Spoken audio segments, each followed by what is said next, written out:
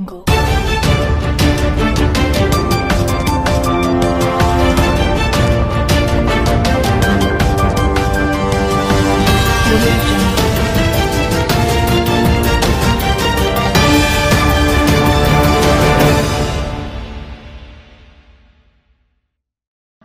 दोस्तों।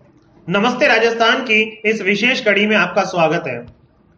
कोरोना महामारी के कारण स्कूलों में समय से पहले ही समर वेकेशन हो गए हैं।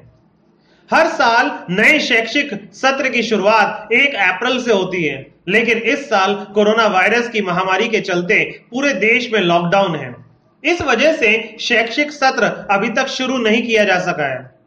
ऐसे में स्कूलों में पढ़ने वाले विद्यार्थियों की पढ़ाई का नुकसान ना हो, इसलिए ज़्यादातर स्कूल्स द्वारा ई लर्निंग प्लेटफॉर्म बनाए गए हैं। स्कूलों ने बच्चों की पढ़ाई बाधित ना हो, इसलिए वर्चुअल क्लासेस और ऑनलाइन पढ़ाई का सहारा लिया है। स्कूल्स ऑनलाइन एप्स और व्हाट्सएप ग्रुप के ज़रिए बच्चों की पढ़ाई करवा रहे हैं। ई लर्निंग प्लेटफॉर्म्स के ज़रिए टीचर्स हर स्टूडेंट को कोर्स से संबंधित शैक्षिक सामग्री और असाइनमेंट पोस्ट कर रहे हैं।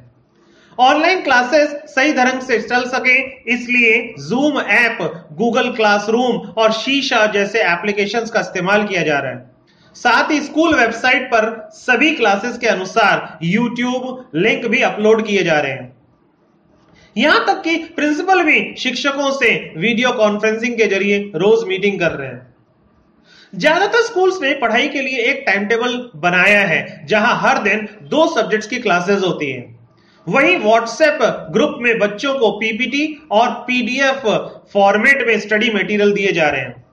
बच्चों को मेल के माध्यम से वर्कशीट भेजी जा रही है, जिससे बच्चों ने अपना काम करना शुरू कर दिया है। कई स्कूलों ने विद्यार्थियों का असाइनमेंट ऑनलाइन ही जमा करने को कहा है।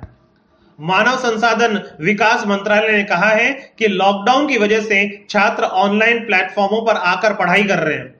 अब ऑनलाइन माध्यम से पढ़ाई करने वाले छात्रों की पहुँच में तीन गुना वृद्धि हो गई है। शैक्षिक सत्र पिछड़ जाने की आशंका से परेशान स्कूलों के प्रबंधन के लिए ऑनलाइन शिक्षण संकट मोचक साबित हो रहा है.